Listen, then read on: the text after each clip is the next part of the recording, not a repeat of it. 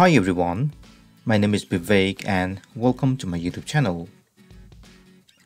This is the ninth episode to create custom form using HTML and CSS.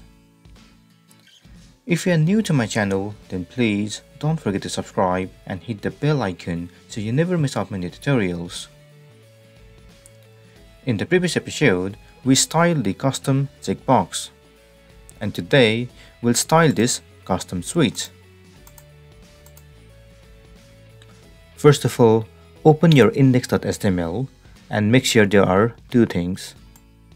Input type checkbox and span class slider. The span is used to style this custom switch. Whenever the checkbox is in check state, we have to change this switch color from gray to blue.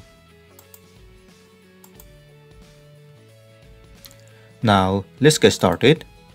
So first, let's hide this default checkbox. So open your home.scss. You can copy this switch class name and then you can add input type checkbox. To hide them, you can use position absolute and left minus 999 px. Refresh the site and the default checkbox is now hidden. So now let's style this custom switch using span. So you can copy this class name and then you can add the background which would be the darkened version of the white color by 20% then we need a border radius of 35 pixel. Then I want to add position absolute.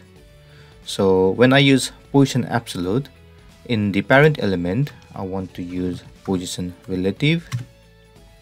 And since I want to apply some height and width for this switch I will apply the width of 45 px and the height of 25 px. Now again in this slider class name since I have used this position absolute I want to use the top value to 0 left 0 bottom 0 and right 0 I also want to add cursor pointer. And finally to add some transition effect I want to add transition. All 0.3 second linear. Refresh the site now. And you can see a gray background over here. Now using before pseudo element let's style this white circle as well. So over here add the before pseudo element. And whenever we use pseudo element we have to apply uh, empty content.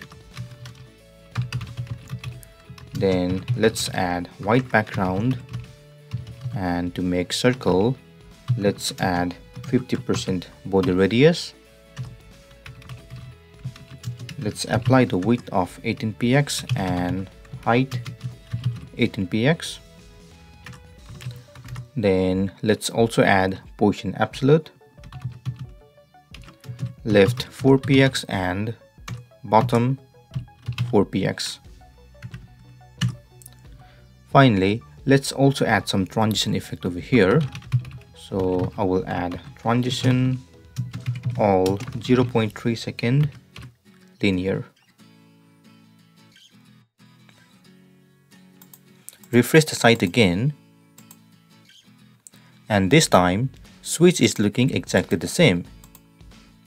But if I click on it, nothing is happening.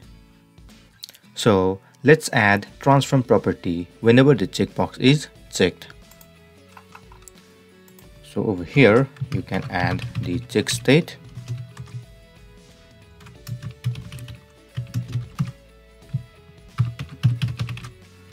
then in this before pseudo element I want to apply the transform property. And I want to use translate x and 18px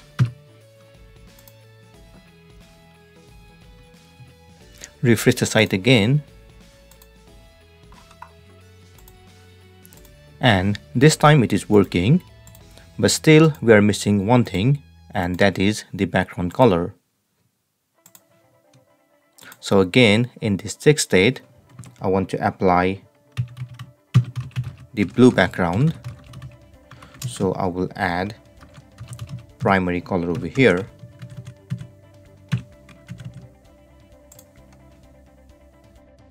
Refresh the site again. And this time everything is working. Great this is the end of this session in the next session we'll work on responsiveness of the form feel free to comment below if you have any question also please don't forget to like share and subscribe to my channel to get more videos in the future if you want some hosting companies, you can check the link in the description below. Thank you and see you soon.